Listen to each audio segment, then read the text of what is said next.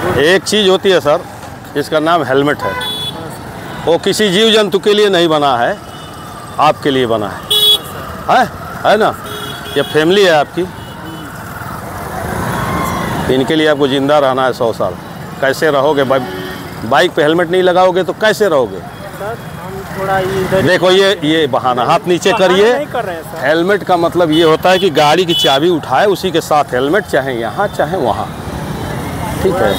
उनको जो है डिलीवरी स- वो सारी चीज़ें एक तरफ़ हेलमेट से क्या मतलब है उसका यार?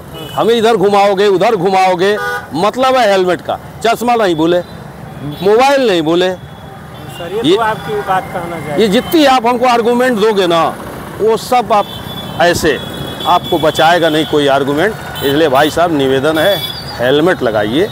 है ना? आर्गूमेंट से कोई फ़ायदा नहीं है। जब एक्सीडेंट होता है तो किसी का आर्गूमेंट काम नहीं आता है हेलमेट काम आता है। है ना?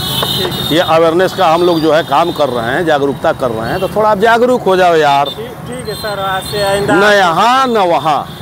वह हेलमेट लगाना है तो लगाना। ठीक है सर लगाना। चलिए।